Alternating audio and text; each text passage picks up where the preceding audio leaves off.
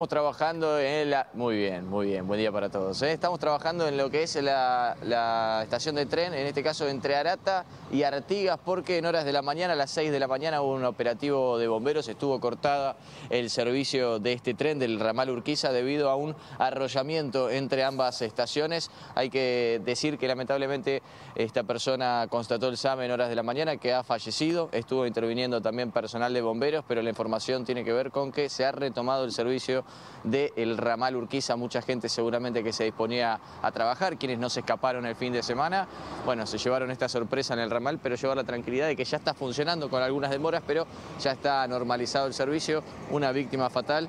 Repetimos entonces, entre la estación Arata y la estación eh, eh, Artigas, aquí en lo que es el ramal Urquiza, sí. ¿Fue un, ¿Fue un accidente fatal o la persona decidió por voluntad propia quitarse la vida? Eso no se sabe. No.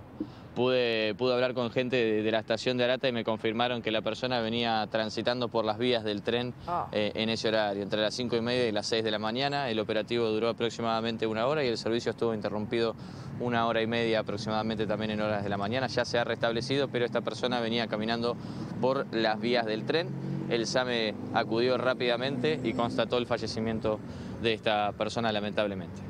Sí, es una... Qué tremendo es. Sí, es, lamentablemente es una de las formas más, más comunes de aquellas personas que deciden este, quitarse la vida, eh, ir, ir, a este tipo de, de situaciones. Y, y los trenes, este, lamentablemente los maquinistas eh, terminan siendo protagonistas involuntarios porque no es que ellos quieren pasar por estas situaciones. A mí me tocó en su momento entrevistar a maquinistas mm. y cuando se jubilan maquinistas, ¿sabes con cuántas muertes en su espalda se jubila en promedio? 30. Ay, no, tremendo. A nivel psicológico es En promedio, lamentablemente maquinistas, si hay maquinistas que han llegado a jubilarse después de 30 años de servicio, con 55, 60 años, porque se jubilan con una edad eh, más temprana en muchos casos, han llegado a tener 95, 100 muertes en su espalda. Pues imagínate lo que significa esto. Y como el maquinista mismo te decía, yo no es que yo lo quiero hacer.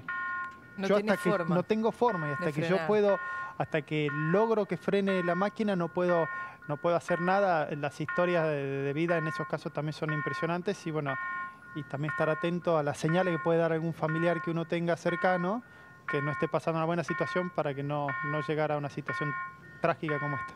Gracias, Tommy, por la información. Te mandamos un beso enorme. Sos, como siempre, nuestros ojos en la calle, así que eh, si te trasladas a otro destino, la vamos a retomar contacto. Beso enorme. Seguimos trabajando. Beso grande. Claro que sí. Eh, hoy le hablábamos, Tucu, temprano. Cualquiera de nosotros sufrió o tiene un conocido. Bueno, Darío me decía, uno de